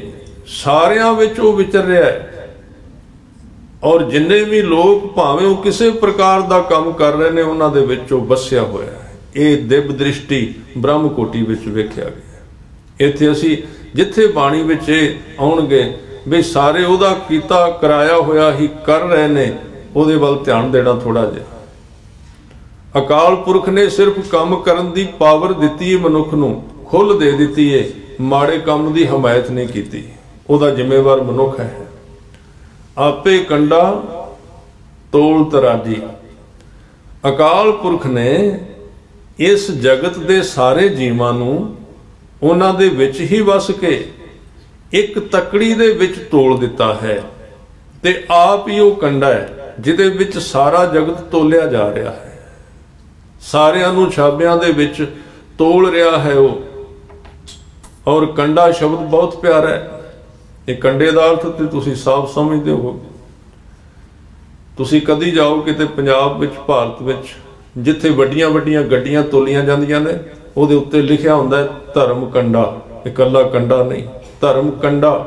ਕੰਡਾ ਕਿਉਂ ਕਿਹਾ ਇਹ ਕੰਡਾ ਸ਼ਬਦ ਤੇ ਚੁਭਣ ਵਾਲੀ ਚੀਜ਼ ਹੈ। ਔਰ ਕੰਡਾ ਜਦੋਂ ਤੁਸੀਂ ਪੁਰਾਣੇ ਸਮੇਂ ਵਿੱਚ, ਜਦੋਂ ਤਕੜੀ ਤੋਲੀ ਜਾਂਦੀ ਸੀ ਤੇ ਜਿੱਥੋਂ ਹੱਥ ਨਾਲ ਫੜ ਕੇ ਚੁੱਕਦੇ ਸਨ, ਤੇ ਜਦੋਂ ਦੋਵੇਂ ਛਾਬੇ ਬਰਾਬਰ ਹੋਣ ਤੇ ਉਹ ਕੰਡਾ ਸੂਈ ਦੀ ਨੋਕ ਨੂੰ ਸਿੱਧਾ ਹੋਵੇ ਤਾਂ ਵੇਖਦੇ ਸਨ ਵੀ ਬਿਲਕੁਲ ਠੀਕ ਤੋਲਿਆ। ਜੇ ਕੰਡੇ ਦਾ ਮੂੰਹ ਜਿਹੜਾ ਆਕਾਸ਼ ਵੱਲ ਹੈ, ਉਹ ਥੋੜਾ ਜਿਹਾ ਇੱਧਰ ਉੱਧਰ ਹੈ, ਤਕੜੀ ਦਾ, ਤੇ ਉਹ ਤੋਲ ਠੀਕ ਨਹੀਂ ਹੋਵੇਗਾ। ਇਸ ਕਰਕੇ ਲਫ਼ਜ਼ ਵਰਤਿਆ ਗਿਆ ਧਰਮ ਕੰਡਾ, ਧਰਮ ਇੱਕ ਕੰਡਾ ਹੈ, ਇਹ ਸਚਾਈ ਹੈ। ਸਚਾਈ ਇੱਕ ਕੰਡਾ ਹੈ। ਉਹ ਕੰਡਾ ਕਿਉਂ ਹੈ? ਇੱਕ ਤੇ ਉਹ ਤੋਲਦਾ ਹੈ ਵੀ ਬੰਦਾ ਕਿੱਥੇ ਕਰਕੇ ਖੜਾ ਹੈ। ਧਰਮ ਕੰਡਾ ਕਿਉਂ ਹੈ? ਕਿਉਂਕਿ ਸੱਚ ਚੁੱਭਦਾ ਵੀ ਹੈ। ਜਿੱਥੇ ਅਸੀਂ ਥੋੜੇ ਜਿਹਾ ਆਊਟ ਹੋਏ, ਬਾਹਰ ਗਏ, ਜਿੱਥੇ ਗੁਰੂ ਦੀ ਮੱਤ ਤੋਂ ਥੋੜੇ ਜਿਹਾ ਬਾਹਰ ਗਏ, ਉੱਥੇ ਧਰਮ ਨੇ ਚੁੱਭਣਾ ਸ਼ੁਰੂ ਕਰ ਦਿੱਤਾ। ਆ ਕਈ ਲੋਕ ਕਹਿੰਦੇ ਵੀ ਬਾਕੀ ਕਈ ਵਾਰੀ ਤਾਂ ਪੂਰੇ ਘੰਟੇ ਵਿੱਚ ਸਾਰੀ ਕਥਾ ਬੜੀ ਆਨੰਦ ਵਾਲੀ ਹੁੰਦੀ ਹੈ। ਕਿਤੇ ਕਿਤੇ ਵਿੱਚ ਥੋੜੀ ਜੀ ਗੱਲ ਚੁੱਭਦੀ ਹੈ। ਤੇ ਧਰਮ ਕੰਡਾ ਉਹਨੇ ਚੁੱਭਣਾ ਹੀ ਹੈ, ਜਿਹੜਾ ਚੁੱਭੇ ਹੀ ਨਾ ਉਹ ਕੰਡਾ ਕਾਦਾ ਜਿਹੜਾ ਚੁੱਭਦਾ ਨਹੀਂ ਉਹ ਧਰਮ ਕਾਦਾ ਹੈ? ਚੁੱਭੇਗਾ ਉੱਥੇ ਜਿੱਥੇ ਸਾਡੇ ਵਿੱਚ ਨੁਕਸ ਹੈ। ਜੇ ਕਿਤੇ ਗੁਰੂ ਕੀ ਬਾਣੀ ਕਿਤੇ ਚੋਭ ਪਾਉਂਦੀ ਏ, ਸਾਨੂੰ ਮਾਫਕ ਨਹੀਂ ਆਉਂਦੀ। ਉਹਦਾ ਕਾਰਨ ਇਹ ਨਹੀਂ ਵੀ ਬਾਣੀ ਦੇ ਵਿੱਚ ਕਿਤੇ ਨੁਕਸ ਹੈ। ਉਹਦਾ, ਉਹ ਸਾਨੂੰ ਦੱਸ ਰਹੀ ਏ, ਮੈਂ ਤੈਨੂੰ ਚੁੱਭਣੀ ਤਾਂ ਤੇਰਾ ਕਿਤੇ ਨਾ ਕਿਤੇ ਨੁਕਸ ਤੇਰੇ ਜੀਵਨ ਵਿੱਚ ਹੈ। ਕਥਾ ਤਾਂ ਚੁੱਭੇਗੀ। ਬੜੇ ਲੋਕਾਂ ਨੂੰ ਕਥਾ ਵੀ ਚੁੱਭਦੀ। ਇਸ ਕਰਕੇ ਉਹ ਕਹਿੰਦੇ ਆਪੇ ਕੰਡਾ ਉਹ ਆਪ ਹੀ ਕੰਡਾ ਹੈ ਆਪ ਹੀ ਤੋਲਦਾ ਹੈ ਆਪ ਹੀ ਤਰਾਜੀ। ਸਾਰੇ ਜਗਤ ਦੇ ਜੀਵਾਂ ਦੇ ਵਿੱਚ ਵਸਿਆ ਹੋਇਆ ਹੈ ਔਰ ਇਸ ਵੱਡੀ ਕਾਰਜ ਨੂੰ ਸਾਰੇ ਨੂੰ ਚਲਾ ਰਿਹਾ ਹੈ। ਆਪੇ ਸਾਹੋ ਆਪੇ ਵਣਜਾਰਾ ਆਪੇ ਵਣਜ ਕਰਾਇਆ। ਉਹ ਆਪ ਹੀ ਇਸ ਜਗਤ ਦੇ ਵਿੱਚ ਸ਼ਾਹ ਸ਼ਾਹ ਦਾ ਅਰਥ ਹੈ ਸਭ ਕੁਝ ਦੇਣ ਵਾਲਾ ਸਭ ਕੁਝ ਵੰਡਣ ਵਾਲਾ ਹੈ। ਤੇ ਲੈਣ ਵਾਲਾ ਵੀ ਕੋਈ ਹੋਰ ਨਹੀਂ। ਗੁਰੂ ਰਾਮਦਾਸ ਸੱਚੇ ਪਾਤਸ਼ਾਹ ਕਹਿੰਦੇ ਲੈਣ ਵਾਲਾ ਵੀ ਉਹ ਆਪ ਹੀ ਹੈ। ਆਪ ਦਿੰਦਾ ਹੈ ਆਪ ਹੀ ਲੈਂਦਾ ਹੈ। ਆਪ ਸ਼ਾਹ ਹੈ ਆਪੇ ਹੀ ਬਣਜਾਰਾ ਹੈ। ਸਾਰਿਆਂ ਦੇ ਵਿੱਚ ਆਪ ਹੀ ਵਸਿਆ ਹੋਇਆ ਹੈ। ਆਪੇ ਧਰਤੀ ਸਾਜਨ ਪਿਆਰਾ ਪਿਛੇ ਟੰਕ ਚੜਾਇਆ। ਉਸ ਅਕਾਲ ਪੁਰਖ ਨੇ ਇਹ ਧਰਤੀ ਸਾਜ ਦਿੱਤੀ। ਤੇ ਇਸ ਨੂੰ ਹੁਕਮ ਦੇ ਛਾਬੇ ਵਿੱਚ ਰੱਖ ਲਿਆ। ਕਾਦੇ ਨਾਲ ਖੜੀ ਹੋਈ ਇਹ ਧਰਤੀ? ਹੁਕਮ ਦੇ ਨਾਮ ਦੇ ਛਾਬੇ ਵਿੱਚ ਫੜ ਲਿਆ ਇਸ ਨੂੰ। ਤੇ ਪਿੱਛੇ ਟੰਕ ਚੜਾਇਆ ਟੰਕ ਦੇ ਅਰਥ ਨੇ ਜਦੋਂ ਕਿਸੇ ਚੀਜ਼ ਨੂੰ ਤੁਲਨਾ ਹੋਵੇ, ਤੇ ਦੂਜੇ ਛਾਬੇ ਵਿੱਚ ਵੱਟਾ ਰੱਖਣਾ ਪੈਂਦਾ ਹੈ।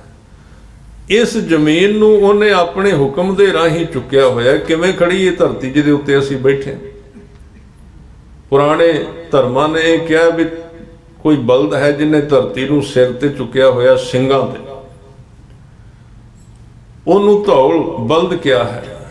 ਸਤਿਗੁਰੂ ਨੇ ਕਿਹਾ, ਹੋਰ ਕੋਈ ਬਲਦ ਨਹੀਂ। ਧੌਲ ਧਰਮ, ਦਇਆ ਕਾ ਪੂਤ। ਧਰਤੀ ਹੋਰ ਪਰੈ, ਹੋਰ ਹੋਰ। ਤਿਸਤੇ ਭਾਰ ਤਲੈ ਕਵਣ ਜੋਰ?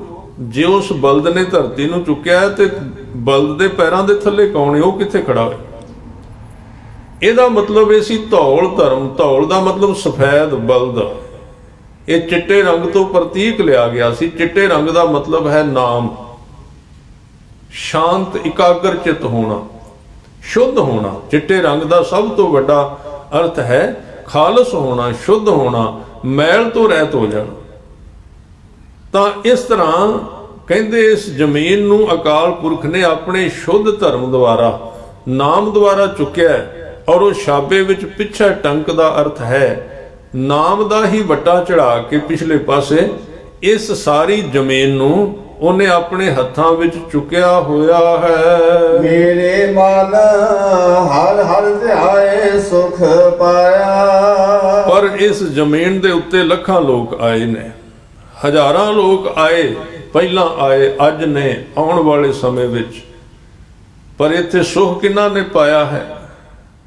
ਕਿਹੜੇ ਲੋਕਾਂ ਨੇ ਸੁਖ ਪਾਇਆ? ਜਿਸ ਨਾਮ ਨੇ ਜ਼ਮੀਨ ਨੂੰ ਖੜਾ ਕੀਤਾ ਹੋਇਆ ਨਾ, ਫੜਿਆ।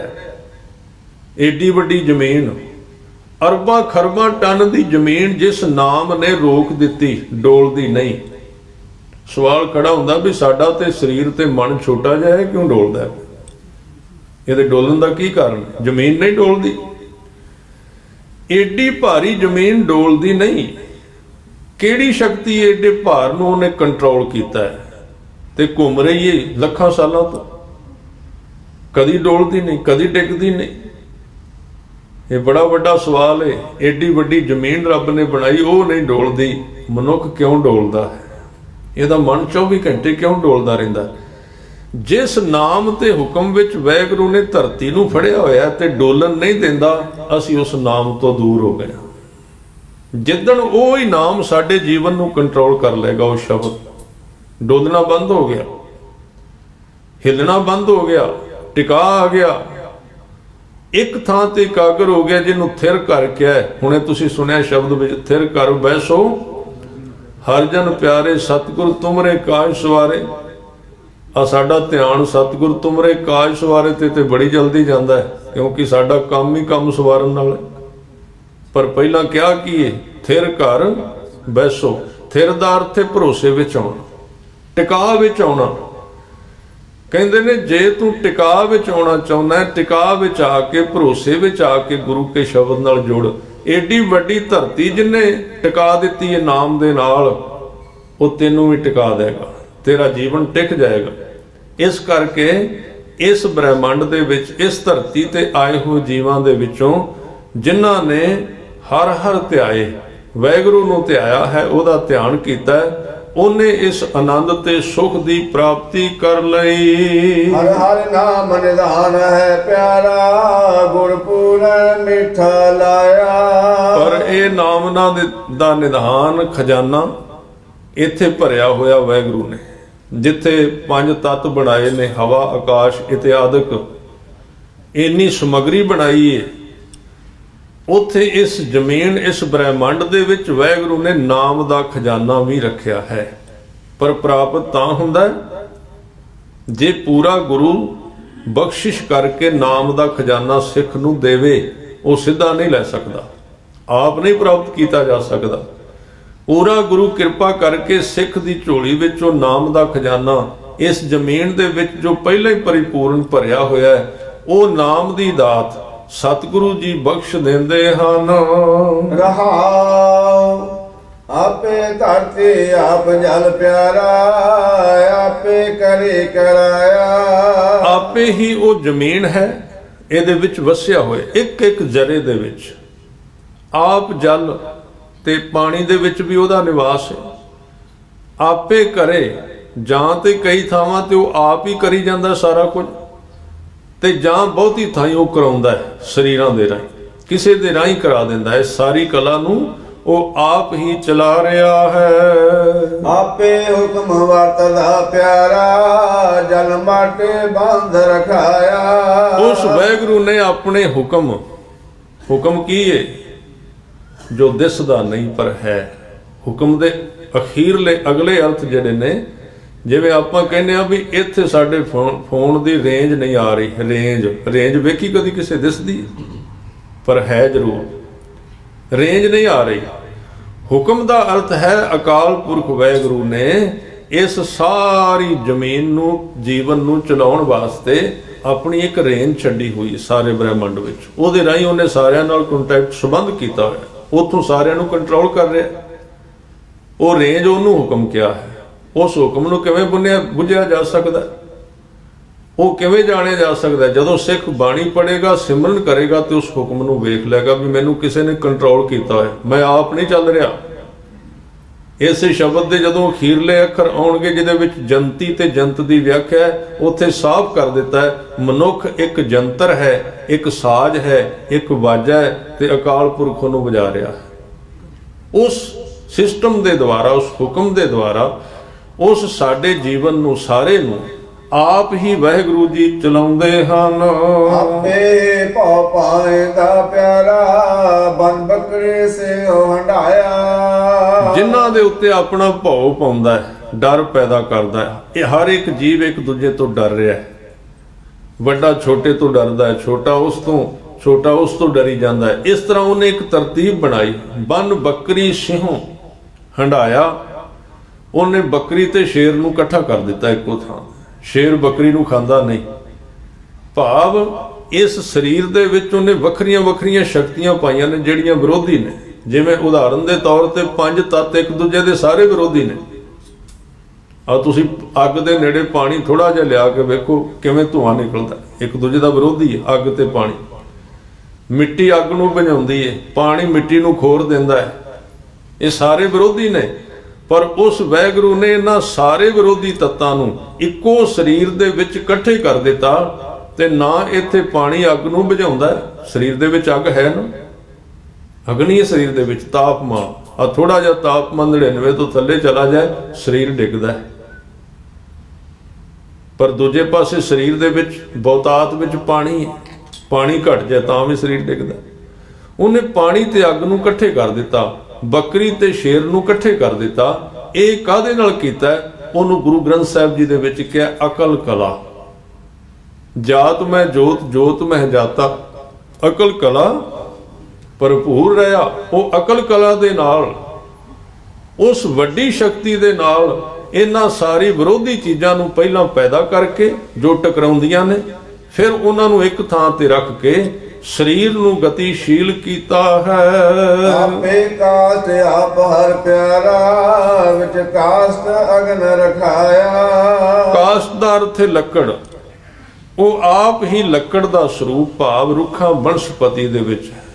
ਔਰ ਸਾਰੀ ਬਨਸਪਤੀ ਦੇ ਵਿੱਚ ਅੱਗ ਹੈ ਪਰ ਅੱਗ ਉਹਨੂੰ ਸਾੜਦੀ ਨਹੀਂ। ਭੀਤਰ ਅਗਨ ਬਨਸਪਤ ਮੌਲੀ। ਬੜੀ ਹੈਰਾਨੀ ਦੀ ਗੱਲ ਏ ਅੱਗ ਜਿੱਥੇ ਲੱਗ ਜਾ ਉੱਥੇ ਦੂਜੀਆਂ ਚੀਜ਼ਾਂ ਨੂੰ ਛੱਡ ਦਿਓ, ਹਰੀ ਹਰੇ ਰੁੱਖਾਂ ਨੂੰ ਵੀ ਸਾੜ ਦਿੰਦੀ। ਪਰ ਸਤਿਗੁਰੂ ਕਹਿੰਦੇ, ਵੇਖੋ ਉਸ ਅਕਾਲ ਪੁਰਖ ਦੀ ਸਮਰੱਥਾ ਤੇ ਕਲਾ। ਉਹਦੀ ਸ਼ਕਤੀ ਦਾ ਇਹ ਬੜਾ ਵੱਡਾ ਪ੍ਰਤੀਕ ਹੈ ਕਿ ਰੁੱਖ ਹਰਾ ਰੁੱਖ ਨੂੰ ਫੁੱਲ ਲੱਗੇ ਹੋਏ ਨੇ, ਟਹਿਕਦੇ ਨੇ, ਬੜਾ ਸੋਹਣਾ ਲੱਗਦਾ ਵੀ ਹਰਾ ਪਰ ਉਸ ਰੁੱਖ ਦੇ ਵਿੱਚ ਅੱਗ ਰੱਖੀ ਹੋਈ ਉਹਨੇ ਗੁਪਤ ਕਰਕੇ, ਲੁਕੀ ਹੋਈ। ਇਸੇ ਤਰ੍ਹਾਂ ਜੀਵਨ ਵਿੱਚ ਸਾਰੀਆਂ ਵਿਰੋਧੀ ਸ਼ਕਤੀਆਂ ਉਹਨੇ ਪੈਦਾ ਕੀਤੀਆਂ ਨੇ। ਅੱਗ ਤੇ ਪਾਣੀ ਨੂੰ ਅੱਗ ਤੇ ਲੱਕੜ ਨੂੰ ਕਾਸ਼ਟ ਨੂੰ ਇੱਕੋ ਥਾਂ ਤੇ ਇਕੱਠਾ ਕਰ ਦਿੱਤਾ। ਆਪੇ ਆਪ ਵਰਤਦਾ ਪਿਆਰਾ ਭੈ ਅਗਨ ਨਾ ਸਕੈ ਜਲਾਇਆ। ਸਾਰਿਆਂ ਥਾਵਾਂ ਤੇ ਵਾਹਿਗੁਰੂ ਆਪ ਵਰਤਦੇ ਹਨ ਤੇ ਡਰ ਦੀ ਅੱਗ ਕਿਸੇ ਨੂੰ ਜਲਾ ਨਹੀਂ ਸਕਦੀ ਭਾਵ ਉਹ ਸਾਰਿਆਂ ਦੀ ਰਾਖੀ ਕਰਦਾ ਹੈ ਸਾਰਿਆਂ ਨੂੰ ਸਮਰੱਥਾ ਬਖਸ਼ਿਸ਼ ਕਰਦਾ ਹੈ। ਆਪੇ ਬਾਰ ਜਿਵਾਏ ਦਾ ਪਿਆਰਾ ਸਾਲ ਦੇ ਸਭ ਲਵਾਇਆ। ਆਪ ਹੀ ਗੁਰੂ ਰੂਪ ਹੋ ਕੇ ਸਿੱਖ ਦੇ ਮਨ ਦੇ ਮਾੜੇ ਹਿੱਸੇ ਨੂੰ ਮਾਰ ਦਿੰਦਾ ਤੇ ਨਵੀਂ ਜ਼ਿੰਦਗੀ ਬਖਸ਼ਦਾ ਹੈ। ਉਹ ਆਪ ਹੀ ਲੋਕਾਂ ਨੂੰ ਮੌਤ ਦੇ ਘਾਟ ਉਤਾਰਦਾ ਤੇ ਫਿਰ ਨਵੇਂ ਸਰੀਰਾਂ ਵਿੱਚ ਜਨਮ ਦੇ ਦਿੰਦਾ ਹੈ। ਇਹ ਸਾਰੀਆਂ ਉਹਦੀਆਂ ਸਮਰੱਥਾ ਹਨ ਤੇ ਸਾਰੇ ਹੀ ਜੀਵ ਉਹਦੇ ਦਿੱਤੇ ਹੋਏ ਸਵਾਸ ਦੁਆਰਾ ਹੀ ਜਿਉਂਦੇ ਹਨ। ਆਪੇ ਤਾਣ ਦੇ ਬਾਣ ਹੈ ਪਿਆਰਾ ਆਪੇ ਕਰ ਲਾਇਆ। ਸਾਰੇ ਹੀ ਜਗਤ ਨੂੰ ਉਹਨੇ ਆਪ ਹੀ ਕਾਰੇ ਭਾਵ ਕੰਮਾਂ ਵਿੱਚ ਲਾਇਆ ਹੋਇਆ ਵਿਜੀ ਕੀਤਾ ਹੋਇਆ ਸੰਸਾਰ ਨੂੰ ਚਲਾਉਣ ਵਾਸਤੇ। ਇਹ ਕਿਰਤ ਉਹਨੇ ਕੰਮ ਆਪ ਹੀ ਦਿੱਤੇ ਹਨ। ਔਰ ਫਿਰ ਉਹ ਸਾਰੇ ਸੰਸਾਰ ਵਿੱਚ ਵਿਚਰ ਰਿਹਾ ਹੈ। ਸਾਰੇ ਸੰਸਾਰ ਦਾ ਧਿਆਨ ਵੀ ਰੱਖਦਾ ਹੈ ਸਾਰਿਆਂ ਦੀ ਪਾਲਣਾ ਵੀ ਕਰਦਾ ਹੈ। ਜਿਉ ਆਪ ਚਲਾਏ ਤਿਉ ਚਲੀਏ ਪਿਆਰੇ ਜਿਉ ਹਰ ਪ੍ਰਭ ਮੇਰੇ ਭਾਇਆ। ਬਸ ਇੱਥੇ ਆ ਕੇ ਥੋੜੇ ਜਿਹੇ ਉਹ ਲੋਕ ਨੇ ਜਿਹੜੇ ਗੁਰੂ ਨਾਲ ਜੁੜ ਗਏ ਉਹਨਾਂ ਨੂੰ ਪਤਾ ਲੱਗ ਗਿਆ ਮੈਨੂੰ ਉਹ ਚਲਾ ਰਿਹਾ ਹੈ। ਉਹ ਆਨੰਦ ਵਿੱਚ ਚਲੇ ਗਏ। ਕਿਉਂਕਿ ਉਹ ਉਹਨਾਂ ਦਾ ਹਉਮੈ ਖਤਮ ਹੋ ਗਈ ਕਿ ਮੈਂ ਨਹੀਂ ਚੱਲ ਰਿਹਾ, ਮੈਨੂੰ ਚਲਾਇਆ ਜਾ ਰਿਹਾ।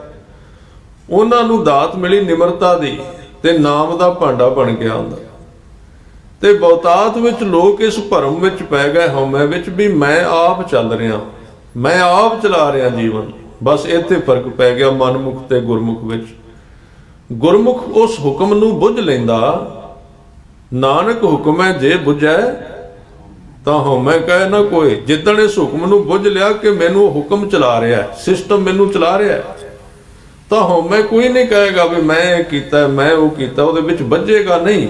ਪਰ ਜਿੰਨਾ ਚਿਰ ਹੁਕਮ ਨੂੰ ਨਹੀਂ ਬੁੱਝਦਾ ਉਹਨਾਂ ਚਿਰ ਮਨਮੁਖਤਾ ਦੇ ਵਿੱਚ ਜਿਉਂਦਾ ਹੈ। ਹਉਮੈ ਨੂੰ ਵੱਡੀ ਕਰ ਲੈਂਦਾ ਹੈ। ਆਪੇ ਜੰਤੇ ਜੰਤ ਹੈ ਪਿਆਰਾ ਜਨ ਨਾਨਕ ਵਜੇ ਵਜਾਇਆ। ਸੱਚੇ ਪਾਤਸ਼ਾਹ ਜੀ ਕਿਰਪਾ ਕਰਦੇ ਹਨ। ਕਿ ਆਪੇ ਜੰਤੀ ਜਾਂ ਜੰਤ ਹੈ ਪਿਆਰਾ। ਉਹ ਆਪ ਹੀ ਜੰਤ ਹੈ। ਜੰਤ ਦਾ ਅਰਥ ਹੈ, ਗੁਰੂ ਕੇ ਸਵਾਰਿਓ, ਜਿਵੇਂ ਆਪਾਂ ਸਿੱਧੇ ਤੌਰ ਤੇ ਕਹਾਂ ਹੁਣੇ ਤੁਸੀਂ ਕੀਰਤਨ ਸੁਣਿਆ। ਉਹ ਆਪ ਹੀ ਵਾਜਾ ਹੈ ਤੇ ਆਪ ਹੀ ਵਜਾਉਣ ਵਾਲਾ ਹੈ।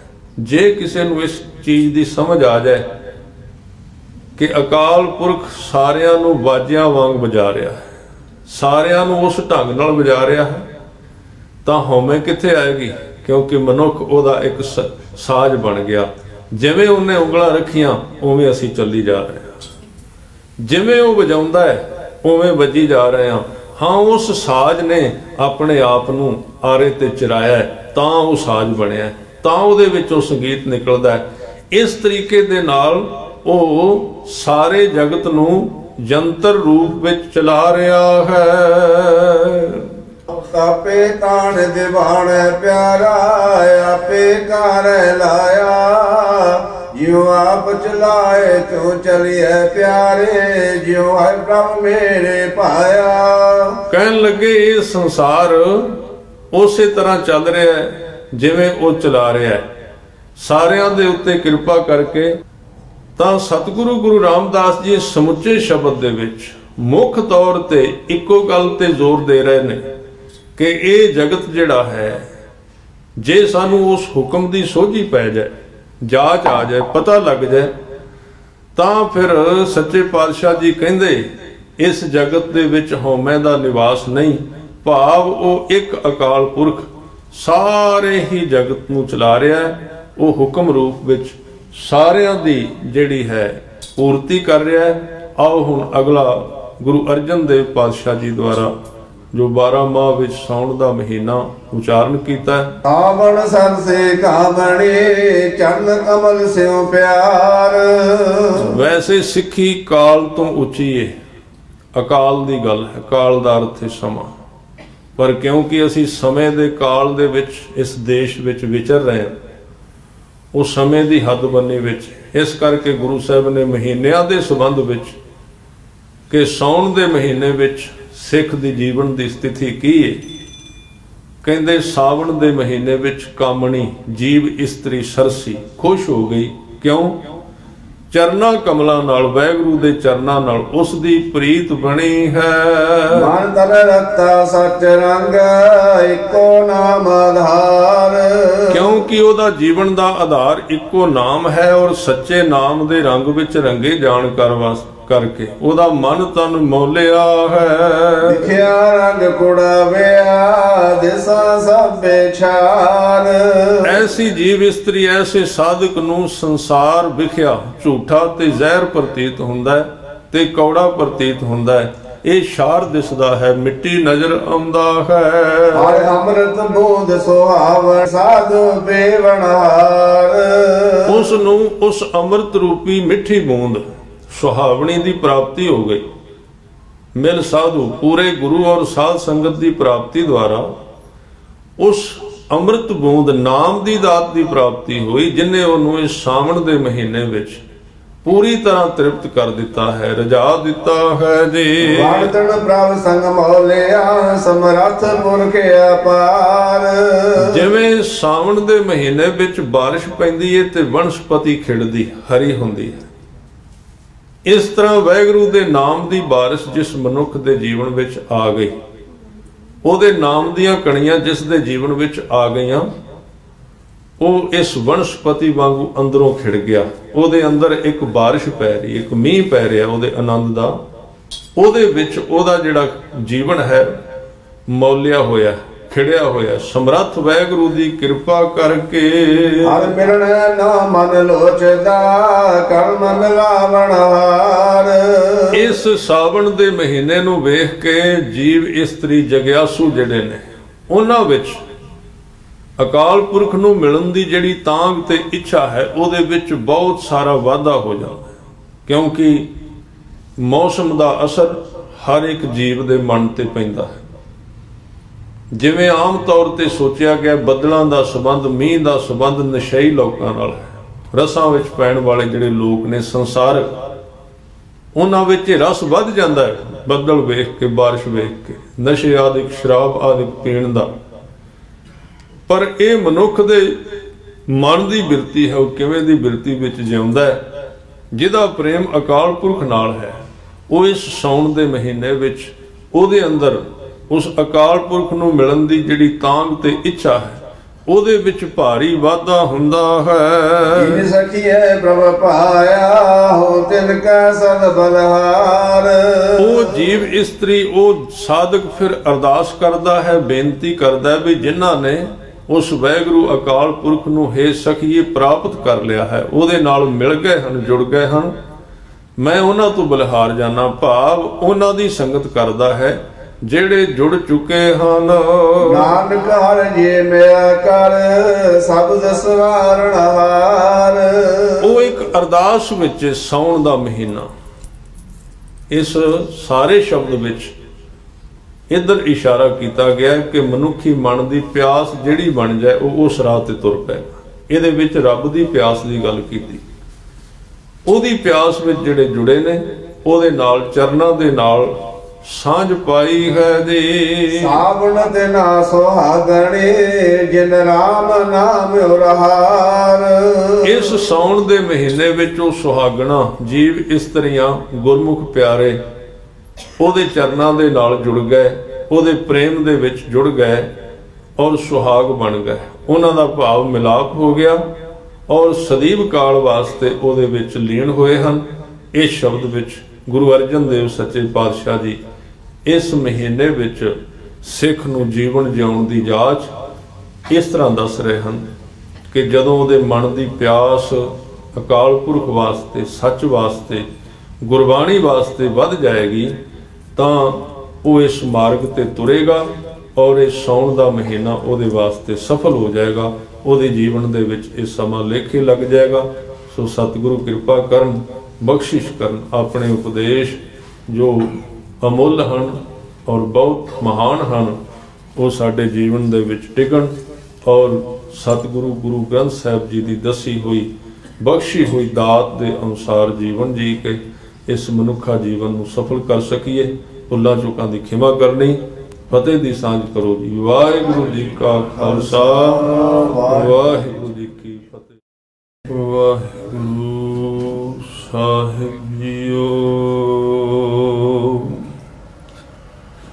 ਜਿਹ ਸਤਗੁਰ ਸਿਮਰੰਤ।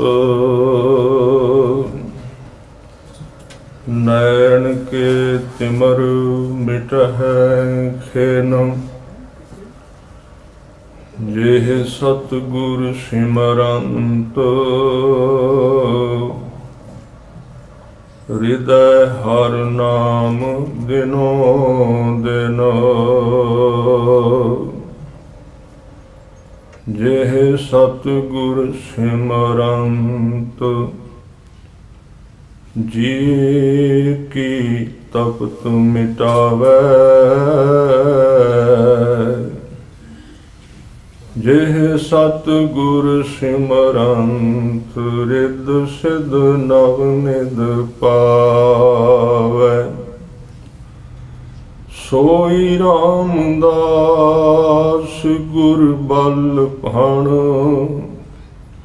ਮਿਲ ਸੰਗਤ ਧਨ ਧਨ ਕਰੋ। ਜਿਹ ਸਤ ਗੁਰ ਲਗ ਪ੍ਰਭ ਪਾਈਐ, ਸੋ ਸਤ ਗੁਰ ਸਿਮਰੋ ਨਰੋ। ਤੇਰੇ ਕਵਨ ਕਵਨ ਗੁਣ ਕਹਿ ਕਹਿ ਗਾਵਾਂ। ਤੂੰ ਸਾਹਿਬ ਗੁਣੀ ਨਿਧਾਨਾ